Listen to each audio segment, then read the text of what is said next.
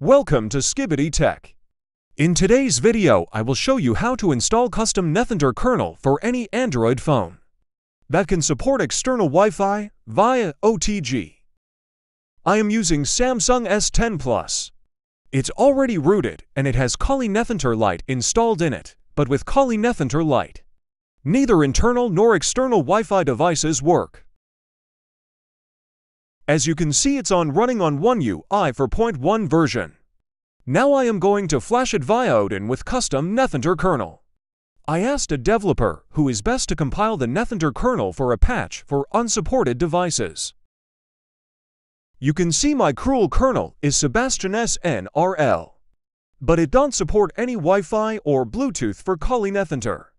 That's why I need to flash it via custom NetHunter kernel so that I can use external devices. Now let's start the flashing process.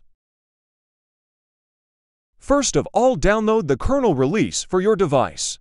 In my case, I am using S10 Plus. I already download it. Now just unzip the file. After unzip then, extract the exe file using 7-zip. Then you will see in the folder it has two Files folder. If you are using One UI for point .1 or Ivans One UI 5.1, you can choose the enforcing kernel. If you are using a One UI 6 based ROM, you must choose the permissive kernel. Now put your device in download mode and connect it with your PC. Now open Odin and select the AP file. My Samsung S10 Plus using for point .1, One UI so I am going to flash it with enforcing kernel folder zip file.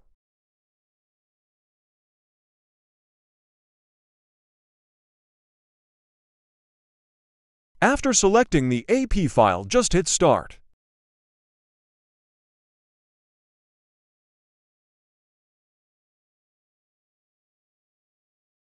Once Odin shows pass, and if your device is booted, you are ready to go. If not, you must perform a wipe data using my stock recovery. So flash the stock recovery inside my kernel exe file, in my case my device booted normally. Now you can see my custom NetHunter kernel is installed properly. And all the rest apps like Magisk, NetHunter are working fine.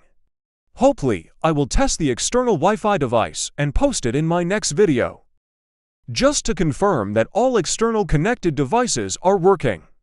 Hope you liked the video, thanks for watching, and don't forget to subscribe.